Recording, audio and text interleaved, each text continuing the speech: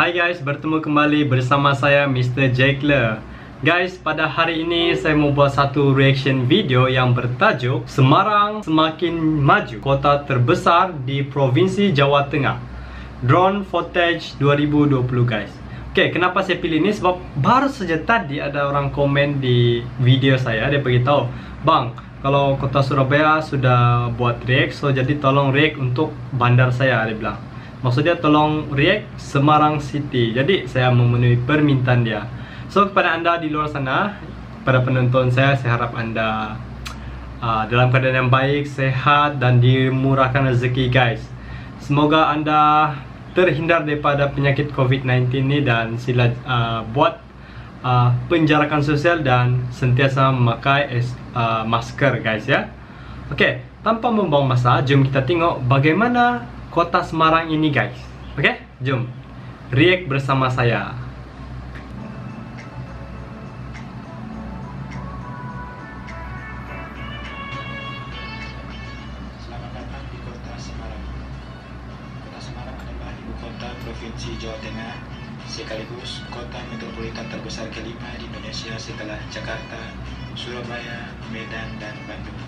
kelima guys Total luas wilayah kota Semarang adalah 373,70 km persegi atau 1,14 persen dari total luas wilayah Provinsi Jawa Tengah.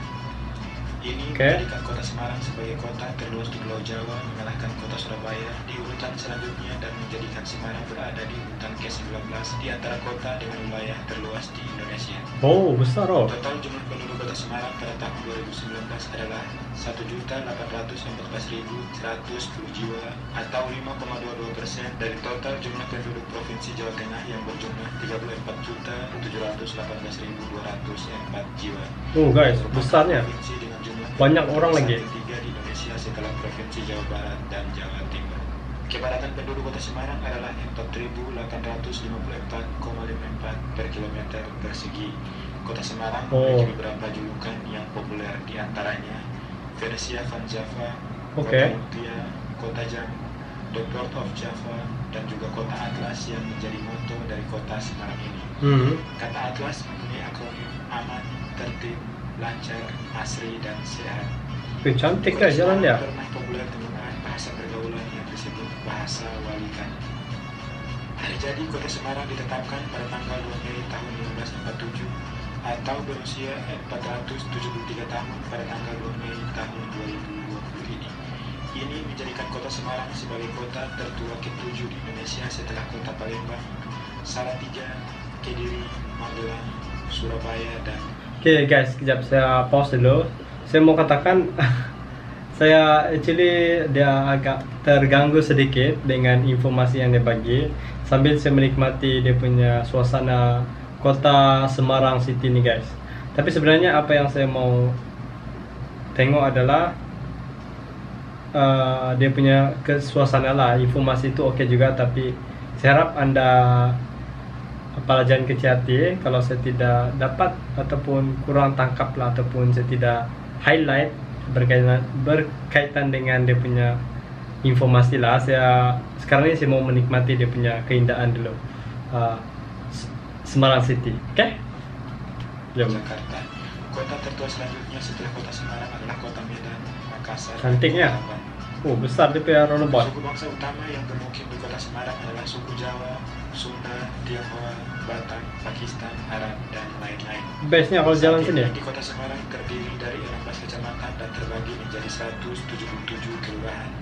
Ini menjadikan kota Semarang sebagai kota dengan jumlah kelurahan terbanyak di Indonesia. Ini juga berarti kota Semarang memiliki Pak Lurah dan Bu Lurah sebanyak 177 orang. Di bawah kota Semarang terdapat kota Surabaya dengan 154 kelurahan dan kota Medan dan Bandung dengan masing-masing 151 kelurahan. Jakarta yang terbagi menjadi lima kota dan satu kabupaten, total seluruhnya terdiri dari 267 kelurahan. Kota Semarang terletak sekitar 558 km sebelah timur Jakarta atau 312 km sebelah barat Surabaya atau 621 km sebelah barat daya Banjarmasin via udara. Secara etimologis, nama Semarang berasal dari kata sem yang berarti asam atau pohon asam dan kata arang yang berarti jarang yang digabungkan menjadi asam yang jarang-jarang. Oh, asam jarang-jarang. Ini bermula ketika Ki Ageng Pandanaran I datang ke sebuah pulau bernama Pulau Tiram. Oh, ini pelabuhan bangunan mall ini. melihat nih. tumbuh berdekatan. Penamaan kota Semarang ini sempat berubah saat zaman kolonialisme Hindia Belanda menjadi Samarang. Kota Semarang merupakan satu dari tiga pusat pelabuhan penting bagi Hindia Belanda sebagai pemasok hasil bumi dari wilayah pedalaman Jawa bersama kota Jakarta dan Surabaya. Ini guys, DP bandar sangat besar waktu tengok. Oke. Yang terdapat di kota Semarang di antara Cantiknya guys, DP bandar ya banyak. Bukan banyak, besar. Presto, tahu gimbal, garam asem, mie kopiok, soto bangkok, tahu petis, nasi goreng babat gongso, lumpia Semarang, tahu pong. Kalau satu hari ini tidak apa namanya, tidak habis mau berjalan nih kota Semarang nih. penghargaan sebagai kota wisata terbersih se Asia Tenggara dalam ASEAN Tourist Forum yang digelar di Brunei Darussalam. Kota Semarang juga meraih penghargaan sebagai kota terbaik dalam perencanaan pembangunan, mengalahkan kota Yogyakarta dan Padang yang masuk di urutan selanjutnya. Penghargaan ini diberikan oleh pemerintah pusat melalui Bappenas dalam Musyawarah Perencanaan Pembangunan Nasional 2020. Pada tahun 2019 kemarin, Kota Semarang berhasil memboyong 9 kategori penghargaan Kota Menuju Cerdas dari Wisma 2019 yang digelar oleh Institut Teknologi Bandung ITB. Sembilan kategori tersebut meliputi rating ekonomi cerdas, sosial cerdas, lingkungan cerdas, kesehatan cerdas, keamanan dan kebencanaan cerdas, pengembangan dan pengelolaan kota, kesiapan pemerintah digital, kesiapan integrasi, Oh, serta cukup besar Jam bangunan Kota Anda. menuju cerdas. PSIS Semarang merupakan satu-satunya klub sepak bola profesional di kota Semarang. Pada musim 1999, PSIS Semarang berhasil menjadi juara Liga Indonesia. Semarang United FC merupakan klub sepak bola yang mengikuti turnamen dalam ajang Liga Premier Indonesia. oke. Kawasan Mega Urban Semarang yang tergabung dalam wilayah metropolitan Kedung Sepul, yaitu akronim dari Kendal, Demak, Ungaran, Kabupaten Semarang, Kota Salatiga, Kota Semarang dan Purwodadi, serta Kabupaten Grobogan, berpenduduk mencapai 7,3 juta jiwa, sekaligus sebagai wilayah metropolitan terpadat keempat setelah Jabodetabek di Jakarta, Gerbang Kertosusila di Surabaya, dan Bandung Raya di Bandung. Dalam beberapa tahun terakhir, perkembangan Semarang yang signifikan ditandai pula dengan munculnya beberapa gedung pencahayaan. Guys, rasanya macam saya nak berjalan di sini lah. Mau apa? ah, mau tempat bercuti lah kota Semarang ni kan. Dia macam menarik juga bagi saya. Bukan saja menarik, bab bandar dia macam best lah saya tengok. Kan? Sebab di setiap tempat tu mesti ada keistimewaan dia. Jadi saya macam bila saya pergi satu tempat atau melihat satu tempat, mesti saya mau rasakan dia punya kelainan di bandar ini kan. cakar langit yang tersebar di penjuru kota. Perkembangan regional ini menunjukkan peran strategis kota Semarang terhadap roda perekonomian nasional. Tapi kalau saya tengok sini, balik-balik daerah tinggal ni Ronobot saya yang besar nih. Sebelah utara Bulatan lah, bulatan Jerman. besar. Sebelah Nah, kan, kan Ini sejak sudah berapa kali saya tengok? 10 berbatasan kali sudah kali saya tengok. Dan sebelah barat berbatasan dengan Kabupaten Kendal. Beberapa oleh-oleh khas yang berasal dari kota Semarang adalah lumpia, roti ganjel rel, jambu Semarang, wingko babat, mari wijen, dan bandeng presto. Beberapa kota di dunia dan di Indonesia yang menjadi mitra kerjasama atau kota kembar dari kota Semarang ini adalah kota Amsterdam dan Rotterdam di Belanda, kota Venesia di Italia, kota Beihai dan Fuzhou di Republik Rakyat Tiongkok, kota Brisbane di Australia, Guys, saya terpegum melihat DP kota ni guys. Sampai tidak terkata. Di Florida, Amerika Serikat, Melaka di Malaysia, kota Tegucigalpa di Honduras, serta kota Jakarta dan kota Surabaya di Indonesia. Semarang terdapat sejumlah perguruan tinggi ternama baik negeri maupun swasta. Berdasarkan peringkat universitas di Indonesia, menurut Webometrik terdapat 6 universitas di Semarang yang termasuk dalam 100 universitas terbaik Indonesia.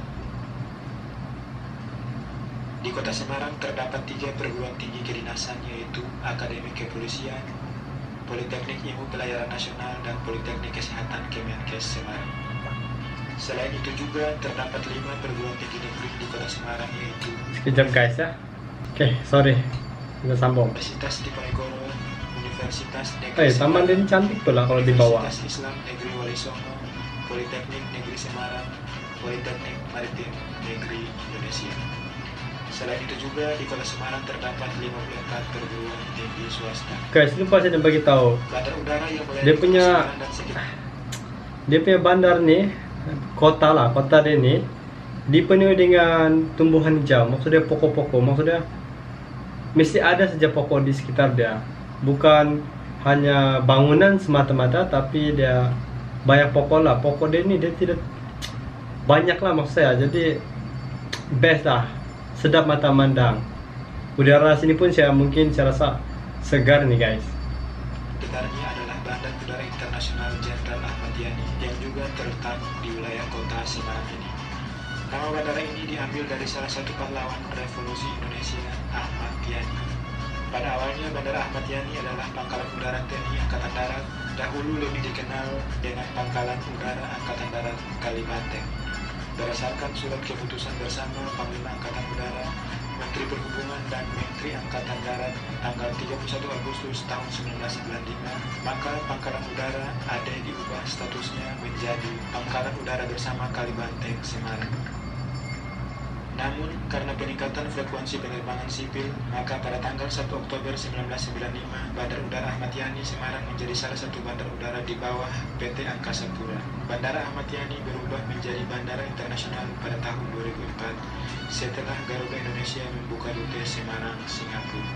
Ini jalan sahala Dari saja. sisi moda transportasi laut, di kota Semarang terdapat pelabuhan laut bernama Pelabuhan Tanjung Emas. Pelabuhan Tanjung Emas atau terkadang ada yang membacanya dengan Pelabuhan Tanjung Mas dikelola oleh PT Pelabuhan Indonesia 3 sejak tahun 1985. Pelabuhan ini merupakan satu-satunya pelabuhan di kota Semarang. Semarang memiliki dua stasiun kereta api yaitu stasiun Semarang Tawang untuk kereta api kelas bisnis dan eksekutif serta stasiun Cantik kok malam. Waktu malam api sangat cantik. dan angkutan barang. Demikian penjelasan umum tentang Kota Semarang, Provinsi Jawa Tengah yang dikutip dari Wikipedia dan beberapa media online lainnya. Jika terdapat kekeliruan dalam menyajikan informasi dikoreksi. bangunan Terima kasih telah menyaksikan video ini dan bangunan mewah. Wassalamualaikum warahmatullahi wabarakatuh.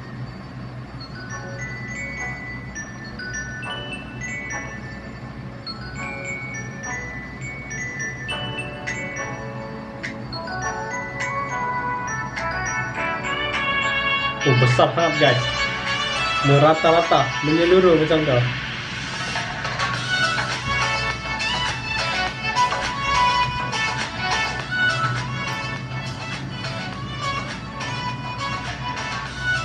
Ni musiknya nanti copyright guys Agak slow dulu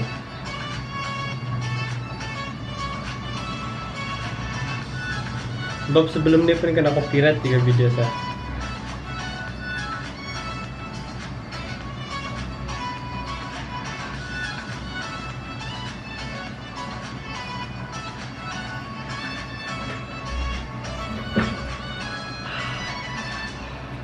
Oh, peluh panas.